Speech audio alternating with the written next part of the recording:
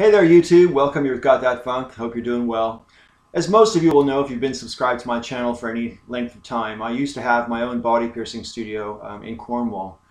And since my shop went out of business, it's taken me a long time to get back on my feet financially. And when I went under uh, at my shop, one of the first things I had to do, unfortunately, was cancel all the direct debits that I had um, in my personal bank account because I used to donate to quite a few charities on a monthly basis. I would donate between, depends on the charity, but I would donate between sort of three pounds a month and 10 pounds a month to a variety of charities. I think I donated to seven charities back in the day. And because it was only like 40 quid a month going out of my account and it was going out by direct debit, I didn't even really notice the money was missing. You know, it was quite easy to do.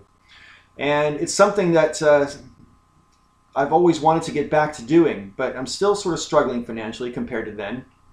So it's really sort of used to eat on my conscience. You know, how what can I do? I can't necessarily afford to uh, set up these direct debits and, and commit to a monthly donation to charities. So you know, I help charities when I can, and I had the brilliant idea last December that I could start donating blood.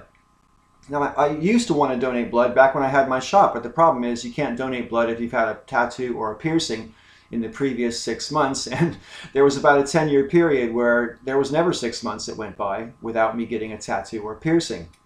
But that's no longer the case. I haven't had any ink or piercings for a couple of years now. And so that I can donate blood whenever I want to. And I was gratified to learn that nowadays you can donate blood every 16 weeks, which is four times a year. And donating blood is easy, it's practically painless, it's completely free to do so. And at the end of the day, you're making a real difference in someone's life. You could, in fact, help to save someone's life just by donating a little bit of your bodily fluid a few times a year.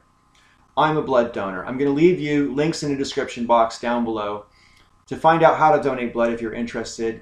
Again, I would heartily encourage everybody to do so because you could be someone who needs a blood donation someday. We all could be in that position.